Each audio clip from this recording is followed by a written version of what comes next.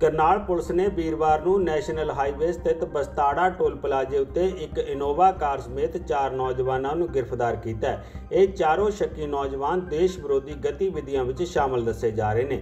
ਗ੍ਰਿਫਤਾਰ ਕੀਤੇ ਗਏ ਗੁਰਪ੍ਰੀਤ, ਅਮਨਦੀਪ, ਪਰਵਿੰਦਰ ਅਤੇ ਭੁਪਿੰਦਰ ਨਾਮੀ ਨੌਜਵਾਨਾਂ ਕੋਲੋਂ ਭਾਰੀ ਮਾਤਰਾ ਵਿੱਚ ਹਥਿਆਰ, ਗੋਲੀ ਸਿੱਕਾ ਅਤੇ ਨਕਦੀ ਬਰਾਮਦ ਕੀਤੀ ਗਈ ਹੈ। ਇਹ ਚਾਰੋਂ ਨੌਜਵਾਨ ਪੰਜਾਬ ਨਾਲ ਸੰਬੰਧਿਤ ਦੱਸੇ ਜਾ ਰਹੇ ਨੇ, ਜਿਨ੍ਹਾਂ ਵਿੱਚੋਂ ਤਿੰਨ ਨੌਜਵਾਨਾਂ ਦਾ ਸੰਬੰਧ ਫਿਰੋਜ਼ਪੁਰ ਅਤੇ ਇੱਕ ਦਾ ਸੰਬੰਧ ਲੁਧਿਆਣਾ ਜ਼ਿਲ੍ਹੇ ਨਾਲ ਦੱਸਿਆ ਜਾ ਰਿਹਾ ਹੈ। ਮਿਲੀ ਜਾਣਕਾਰੀ ਅਨੁਸਾਰ ਇਨੋਵਾ ਗੱਡੀ ਰਾਹੀਂ ਹਥਿਆਰ ਅਤੇ ਗੋਲੀ ਸਿੱਕਾ ਲਿਜਾਣ ਦੀ ਸੂਚਨਾ ਕਰਨਾਲ ਪੁਲਿਸ ਨੂੰ ਮਿਲੀ ਸੀ, ਜਿਸ ਉੱਤੇ ਉਹਨਾਂ ਤੁਰੰਤ ਕਾਰਵਾਈ ਕਰਦੇ ਹੋਏ ਹਾਈਵੇ ਉੱਤੇ ਨਾਕਾ ਲਗਾਇਆ ਅਤੇ ਇਸ ਇਨੋਵਾ ਗੱਡੀ ਨੂੰ ਰੋਕਿਆ। ਤਲਾਸ਼ੀ ਲੈਣ ਉੱਤੇ ਗੱਡੀ ਵਿੱਚੋਂ ਦੇਸੀ ਪਿਸਤੌਲ, ਕਾਰਤੂਸ ਅਤੇ ਹੋਰ ਵਿਸਫੋਟਕ ਪਦਾਰਥ ਬਰਾਮਦ ਹੋਏ ਨੇ। ਗ੍ਰਿਫਤਾਰ ਕੀਤੇ ਗਏ ਇਹਨਾਂ ਸ਼ੱਕੀ ਨੌਜਵਾਨਾਂ ਦਾ ਸਬੰਧ ਪਾਕਿਸਤਾਨ 'ਚ ਬੈਠੇ ਦੇਸ਼ ਵਿਰੋਧੀ ਹਰਵਿੰਦਰ ਸਿੰਘ ਰਿੰਦਾ ਨਾਲ ਦੱਸਿਆ ਜਾ ਰਿਹਾ ਹੈ। ਇਹ ਵੀ ਜਾਣਕਾਰੀ ਮਿਲੀ ਹੈ ਕਿ ਇਹਨਾਂ ਨੂੰ ਹਥਿਆਰ ਡਰੋਨ ਰਾਹੀਂ ਪਾਕਿਸਤਾਨ ਵੱਲੋਂ ਭੇਜੇ ਗਏ ਸਨ। Bureau report, Pravasi TV.